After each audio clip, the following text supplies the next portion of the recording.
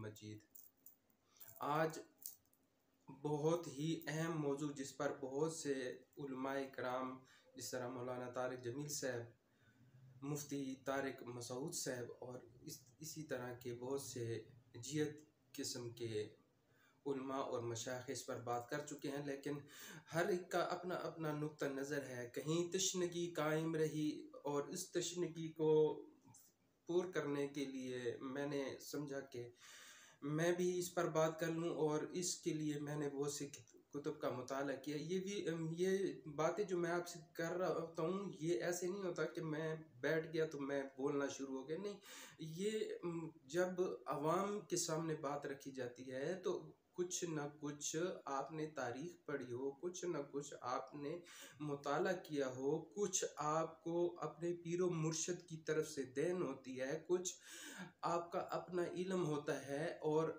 कुछ वो चीज़ें आपके काम आती हैं जिसमें आपने मार मिसाल के तौर पर जिस तरह मैंने चिल्ले किए हैं तो उन चिल्लों की वजह से जो कुछ मुझे मालूम हासिल होती हैं तो वो मैं आपके सामने अपना तजर्बा पेश करता हूँ। मैं खाम खा अपनी तरफ़ से नहीं लग जाता कि एक चीज़ पर बोलना शुरू कर दूँ और उस पर बोलना शुरू कर ए, बात ख़त्म की और दूसरी बात छेड़ दी, फिर तीसरी बात छेड़ नहीं, आज भी ये मौजू है कि ये काला जादू जो है, काले जादू के बारे में है, और ये काला जादू होता क्या है? ये करने वाला जो है, ये करते, इसके पीछे उनका पर्पस क्या होता है? उनका मकसद क्या होता है? अब देखिए और फिर इस काले जादू के जो निशानियाँ होती हैं, ऐसी निशानियाँ जो कि बाज़ लोगों में वैसे पाई जाती हैं, लेकिन जब ये तमाम इन तमाम निशानियों को हम इकट्ठा कर लेते हैं तो फिर जाके हमें पता चलता है ये इस तरह होता है। मेरा तो सीधे मैंने आपको कहा है ना कि मैं इन निशानियों निशानियों पे नहीं जाता। मैं सिर्फ़ और सिर्फ़ जो मुझे कहता है कि मुझ पर काला इलम हुआ है या मुझ पर जिन्नात है, मुझे बताएँ। तो मैं उसको, उसकी हथेली पर एक जो है ना पॉइंट उस मार्कर के साथ वो एक डब्बी बना के उसको मैं दिखा देता हूँ। लाइट ऑफ़ करके उसको मैं दिखा देता हूँ उसको सामने आ जाता है। तो उस, पता चल जाता है कि ये काला जादू था, क्या था, क्या नहीं था।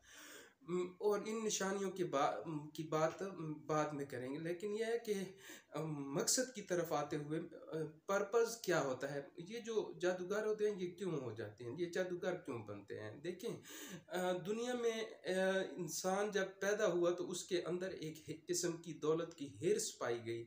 हिरस आई, उस हिरस की वजह से जो है, ये काला जादू करते हैं। दौलत की हिरस होती है, किसी में बदला लेने की हिरस होती है, किसी में वो खुद इंतकाम किसी से नहीं ले सकता तो वो क्या करता है, वो काले जादू की तरफ़ रजू करता है और काला जादू करके उस को जो है वो नुकसान पहुँचाने की कोशिश करता है।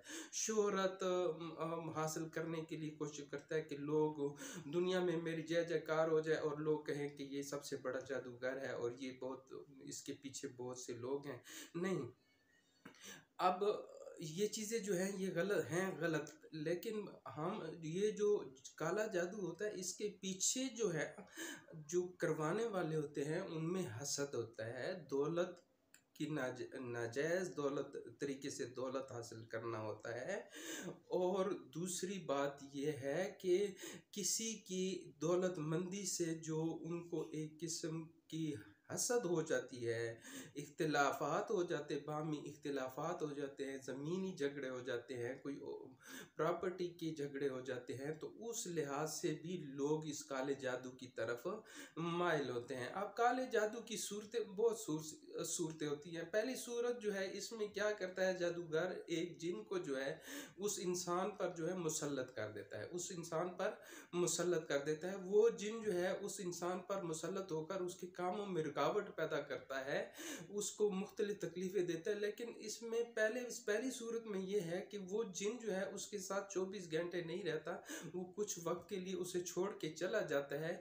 इसलिए इस किस्म के जादू का पता लगाना मुश्किल होता है क्योंकि बाद दफ़ा वो बिल्कुल ठीक हो जाता है, उसके काम की रुकावटें भी ख़त्म हो जाती हैं और बाद तो उसको काम की रुकावटें आ जाती हैं जब वो जिन उस पर हाजिर होता है। दूसरी सूरत ऐसी होती है कि इसमें जादूगर जो है मुस्तकिल तौर पर उस पर एक जिन मुसलत कर देता है। जो उसकी ज़िंदगी को तबाह और बर्बाद कर देता है और उसकी काम में रुकावट पैदा करता है, उसके बामी ताल्लुकात में, मियाँ बीवी के ताल्लुकात में रुकावट पैदा करता है। तलाक तक नौबत पहुँच जाती है। इख्तलाफात हो जाते हैं और इस किस्म का जो जादू होता है, इसका पता तो चल जाता है, लेकिन इसका इलाज जो है, वो ज़रा ज़ोर माँगता है। इस, इसका इलाज जो है, वो ज़रा तवील हो जाता है। तीसरी सूरत में क्या होता है? जादूगर जो है, जब जिन जो है आप पर ना, मुसलत करता है तो वो जिसम के मुख्तलिफ़ हिस्सों में जैसे सुई चबोकर उनको, उनसे मुहदा करता है कि ये वाली जगह, ये वाली जगह गुर्दा हो गया, दिल हो गया, दिमाग हो गया, पेट मैदा हो गया, मुख्तलिफ़ अज़ा जो है, इंसान के जो है अंदरूनी आर्गनल्स होते हैं, उनको अटैक करता है और उनको डैमेज कर देता है।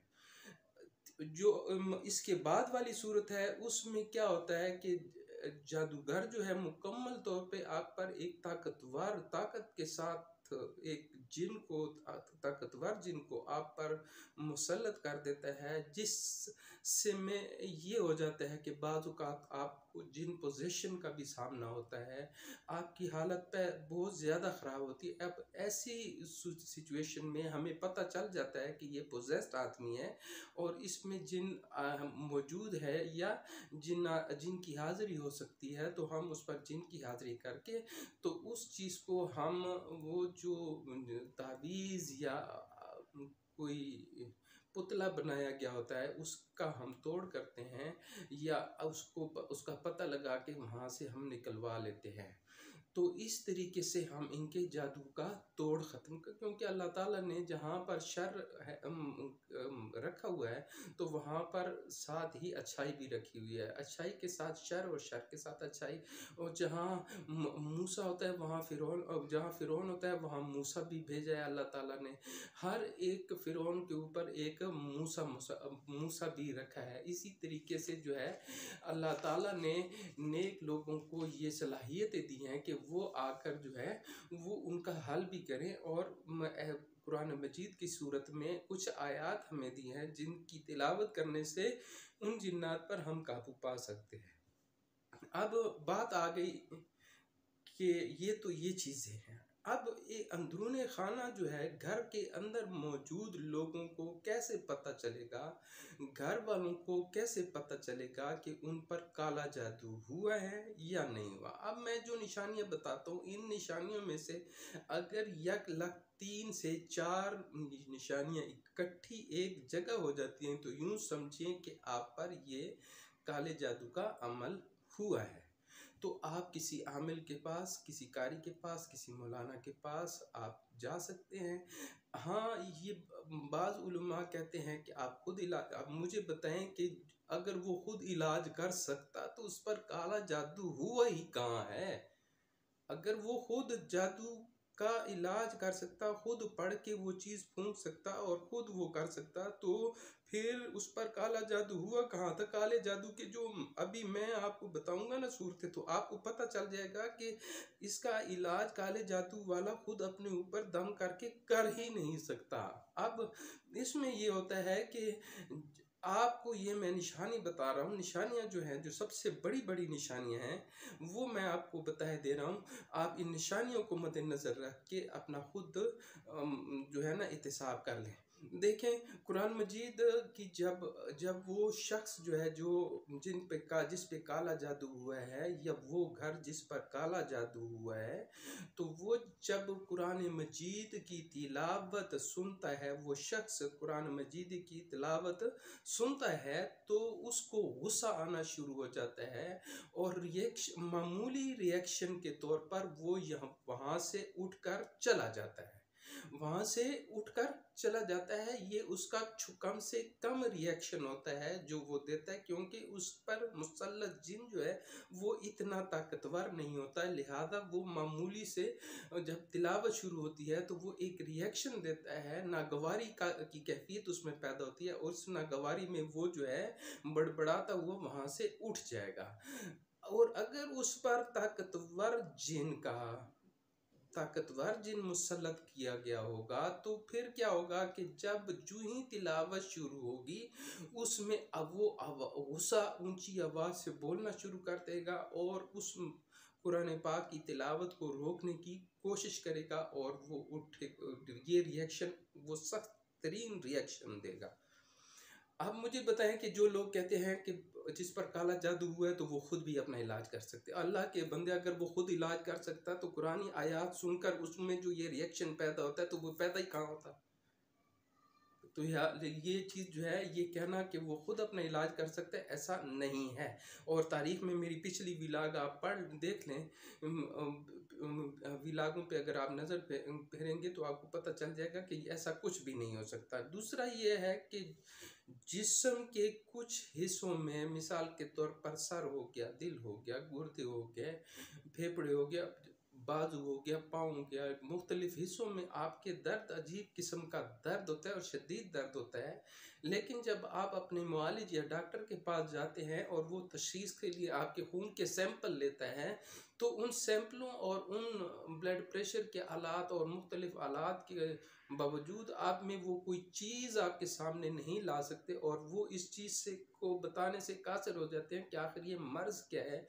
वो मर्ज उनके लिए जो है तशीस के काबिल नहीं होता। इसलिए वो कहते हैं कि कुछ भी जिसम में नहीं है, ना बी पी भी नॉर्मल है टेम्परेचर भी नॉर्मल है एच पी भी नॉर्मल है, सब कुछ नॉर्मल है तो ये आखिर हो, वजह क्या है? तो वो भी इसकी तशीस करने के काबिल नहीं होता। तो ऐसी सूरत को जब आप के सामने आ जाए तो यूँ समझ लें कि आप पर जो भी हुआ है, वो काला जादू है और इसकी तशखीस जो है, वो डॉक्टर नहीं कर सकते। इसकी तशखीस जो है, वो रूहानी डॉक्टर, रूहानी मालिज ही कर सकते हैं। आप अपने रूहानी मालिज के साथ रबता करें। इसके बाद जो निशानी मैं बताया दे रहा हूँ कि एक शख्स जो कि घर के अंदर मिलनसार किस्म का मशहूर होता है। अचानक जब उस पर काला जादू होता है तो वो अचानक अपने आप खामोश हो जाता है और अपने आप को गोशा नशीन कर लेता है और अपनी फितरत के ख़िलाफ़ लोगों में घुलने मिलने से घबराता है और लोगों में घुलने मिलने से अपने आप को बचाता है और एक जगह एक तरफ़ खामोशी से पड़ा रहता है। तो अब जो इसमें यह तब्दीली है, ये तो पहले तो आप उसको किसी जहनी नफसियाती मालिज के पास लेके जाते हैं। जब जहनी नफसियाती मालिज के पास लेके जाते हैं तो वो जब वो करता है, उसके साथ कंसल्टेंसी करता है तो उसे भी कुछ जो है खातिर ख्वा रिज़ल्ट नहीं मिलता। तो इससे भी ये वाज होता है कि ये शख्स जो है अचानक इस पर ये चीज़ हुई है। पहले फितरतन ये मिलनसार था, अब अचानक खामोश होकर गोशा नशीन हो गया तो घर वालों को भी चाहिए कि इस चीज़ को मद्देनज़र रखें। इसके बाद जो चीज़ है कि ऐसा शख्स जो हंसमुख हो और किसी का, किस दिल आजारी नाच करता हो और अचानक उसमें ये तब्दीली आ जाए कि उसमें शदीद गुस्से की कैफियत पैदा हो जाए डिप्रेशन की कैफियत पैदा हो जाए, ये चीज़ें जब उसमें पैदा होना शुरू हो जाती हैं और लड़ाई झगड़े वो शदीद किस्म की इख्तियार कर लेता है और मुख्तलिफ़ अशात इस तरह किसी मौलवी को देख कर किसी नेक इंसान को देख कर मस्जिद में जाने से, किसी ऐसी जगह पर जाने से, जहाँ पर दीन और दीन की बातें हों, वहाँ पर जाने से वहाँ उसको शदीद गुस्सा आता हो तो यूँ समझ लो कि इस शख्स पर भी काला जादू हुआ है। इसके बाद जो है वो जिस शख्स पे काला जादू हुआ होगा, वो जब रात को सोता है तो करवटें बदलता रहता है, लेकिन उसको नींद नहीं आती। नींद उस वक्त आती है, जैसे ही फजर की अजान सुनता है तो अजान उसे बर्दाश्त नहीं होती तो फजर, वो उसी वक्त सो जाता है और नमाज़ भी वो कज़ा कर बैठता है। जब ये पाँच वक्त का, पहले जो पाँच वक्त का नमाजी था, अब फजर की नमाज़ भी वो कज़ा करना शुरू कर दे तो यूँ समझो कि इस बंदे पे काला जादू है। इसके अलावा काला जादू जिस पर हुआ होता है, उसको मुख्तलिफ़ किस्म के डरावने ख्वाब आते हैं। कभी काली बिल्ली, कभी काला कुत्ता, बिच्छू, सांप, मुख्तलिफ़ किस्म की चीज़ें, जो ख़तरनाक किस्म की चीज़ें होती हैं उनको अपने पीछे भागता हुआ पाता है। जब वो अपने पीछे भागता हुआ पाता है तो यूँ समझे कि इस शख्स पर, इस आदमी पर काला जादू हुआ है। काला जादू हुआ है, वो जब अपने घर वालों को ये बताए तो घर वाले उसको लाइट ना लें, उसको किसी अब कारी साहब को, मौलवी साहब को दिखाएँ और उसका दम करा लें, ताकि उसका तोड़ हो जाए। अब अगर पूरे घर की घर भर में ये चीज़ हुई हो तो देखें, मैं आपको बताया दे रहा हूँ कि ऐसे घर के अंदर खून के छींटे आते हैं। खून के छींटे पड़ने शुरू हो जाते हैं। तो यूँ समझो इस घर पे काला जादू हुआ है। बाज़ लोगों के जिस्मों पे कट के निशानात आ जाते हैं। जिस्म के मुख्तलिफ़ हिस्सों पे कट के निशानात होते हैं। तो ऐसा शख्स तो ये कट तो खुद को, वो खुद नहीं लगा सकता तो ये समझ लिया जाए कि ये कोई ऐसा नहीं है कि इसको ये डॉक्टरी इलाज हो, ये इसके जिस्म पर जो कट के निशान आते हैं, ये किसी गैर मरई मखलूक की करतु की वजह से है। लिहाजा इसका इलाज फ़ौर अपने आमिल या किसी मौलवी या कारी या किसी मुर्शिद के पास से जाकर कराना चाहिए। इसके अलावा जो है, आप ख़वातीन अमूमन जब अपने अलमारी या वो कपड़े की कबड खोलते हैं तो देखें तो उनके कपड़े जो हैं मुख्तलिफ़ जगहों से ऐसे कटे होते हैं जैसे ब्लेड से किसी ने काटे हों। जिस आदमी पर जादू होगा, उसके कपड़े जो है ऐसे खुद ब खुद कट में आ जाते हैं। तो ये कोई ऐसी बात नहीं है कि इसका मेडिकल इलाज हो तो ये इलाज भी आप किसी आमिल से ही कराएँगे, किसी मौलवी कारी से ही कराएँगे। अब ये तमाम निशानियाँ देख लें, अगर आप इन निशानियों में से कोई भी निशानी आप में मौजूद है, इन निशानियों में से कोई भी निशानी अगर आप लोगों में यानी तीन चार निशानियाँ इकट्ठी अगर आप में मौजूद हैं तो इसका मतलब ये हो गया कि आप पर काला जादू हुआ है। अब काला जादू जब हो गया है और जिन आप पर मुसलत कर दिया गया है तो इसका इलाज ये नहीं है कि घर में जो है, वो कुछ वो किया जाए। आप फ़ौरन फ़ौरन ख़त्म कुरान का बंदोबस्त करें। पहले ये चीज़ देखें कि घर के अंदर से इन नेगेटिव ये जो जिन्नात होते हैं, इनकी मौजूदगी ख़त्म करने के लिए आप फ़ौर घर में जो है कुरान पाक की, का ख़त्म कराएँ, फिर आप किसी मौली के पास को जाएँ और अपने घर के हालात बताएँ, वो अगर इस चीज़ पर अबूर हासिल होगा अगर उसका काम सिर्फ़ पेट भरना ही हुआ तो वो तो अलहदा बात है, वो तो हर एक अपनी किस्मत है। लेकिन सिलेक्शन आप इस बुनियाद पर मत करें कि कोई आपको ये कहे कि ये शख्स इस तरह है कि ये हर किस्म की काले जादू का इलाज कर सकता है तो आप उस शख्स के पास जाएँ तो देखें कि क्या वो सुन्नत के मुताबिक है। सुन्नत पर अमल पैरा है क्या वो ऐसी चीज़ तो नहीं कर रहा जो शिरक और बिदत में आती हो? यानी आपने मुकम्मल तौर पर पहले जायज़ा लेना है, फिर उसके बाद आपने उससे उस काले जादू का तोड़ कराना ऐसा ऐसा ना हो कि किसी ईसाई के पास चले जाओ, ऐसा ना हो किसी हिंदू के पास चले जाओ, ऐसा ना जब आप उसके पास जाएँगे, अपना ईमान आप खो देंगे, क्योंकि आपने अल्लाह के कलाम पर से आपका अतमाद उठ गया अब आपने काले इलम पर इतमाद आ गया तो काले इलम पर जब आप इतमाद करोगे तो आप मुसलमान के उससे दायरे से आउट हो जाएँगे। लिहाजा आप कोशिश ये करें, कोशिश ये करें कि आप इन चीज़ों से अपने आप को बचाएँ ये दो नंबर किस्म के जाली आमिर जो, आमिल जो होते हैं, उनसे अपने आप को बचाएँ। कारी साहब होते हैं, हाफिज़ होते हैं, मौलवी होते हैं। मैं आपको बताता हूँ, मौलवी होते हैं, बाज़ मौलवी ये कर सकते हैं, बाज़ वो आपको बता देंगे कि फ़लानी जगह चले जाओ। जब वो आपको बताएगा कि फ़लानी जगह चले जाओ वहाँ चले जाओ, वहाँ से दम करा लो। हालाँकि हमारे पास मेरे पास मुख्तलिफ़ किस्म के लोग जब आते हैं, नाम और शोहरत की वजह, मैंने इसमें शोहरत नहीं कमाने की कोशिश की और ना मैंने शोहरत के लिए ये काम किया है।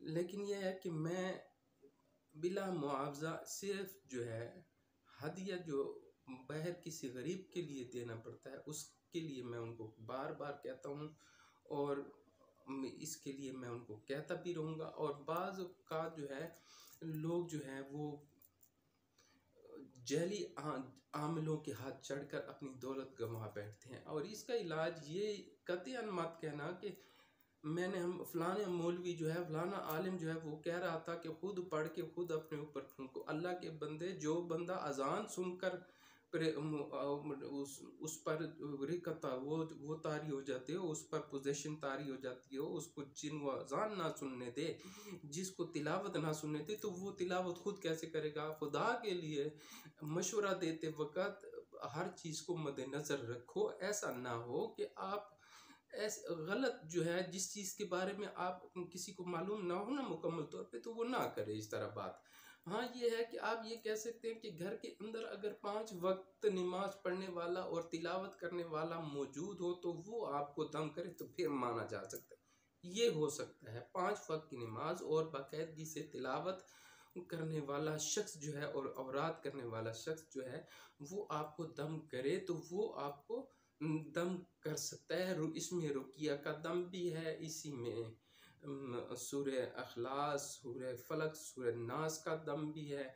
और ये चीज़ें अगर आप पर बाकायदगी से इक्कीस रोज़ तक दम करे, दम करेंगे तो फिर ठीक होगा। बेरी के पत्ते इसका इलाज है। बेरी के साथ पत्ते लेकर उसको पानी में डालें, उससे नहाएँ। दूसरी बात यह कि दम करके आप जिस बोतल में आपका पानी हो, उसको दम किया जाए, आप कुछ पी लें और बाकियों के साथ आप अपना चेहरा वज़ू कर लें, वो शख्स वज़ू कर ले तो इससे भी काले जादू के असरात में कमी वाक़ हो जाती है। जो अंदर के असरात हैं, वो ख़त्म हो जाते हैं, लेकिन वक्ती तौर पर ये एक फ़र्स्ट एड होता है। लेकिन आपको जाना आखिर कार उसी मालिज के पास है, रूहानी मालिज के पास ही है। लिहाजा तो करता हूँ कि ये जो मेरी, ये जो बातें मैंने की हैं, इससे आपने एक अपने लिए एक रास्ता मुख्त कर लिया होगा। इस रास्ते के, को मुख्त करने के बाद मुझे उम्मीद है कि आप इन जेली हमलों से भी बचेंगे और ऐसी वैसी इधर उधर की बातें सुनकर अपने अफराद को जिन पर काला जादू है, ऐसे शख्स को आपका बच्चा है, आपका बेटा है, आपका भाई है, आपका अबू है, जो भी है, उस पर अगर कोई इस तरह के असरात हैं तो उस पर तजर्बात ना करें। आप उसको मालिज के पास ले जाएँ, उसको रूहानी मालिज के पास ले जाएँ, जो कुछ आपसे बन सकते हैं, लेकिन करें फ़ौर करें, ताकि उसको वो अगर चीज़ों के डैमेज करने वाला जिन आप, उस पर मुसलत किया गया है तो वो अपने काम को मुकम्मल ना कर सके और वो उस काले जादू के असर से बहर जाए।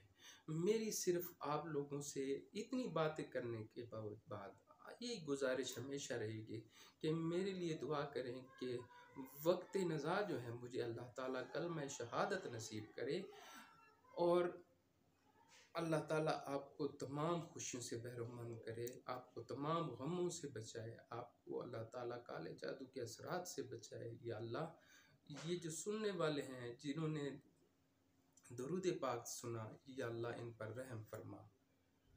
उस वक्त तक के लिए जा दीजिए। अस्सलाम वालेकुम।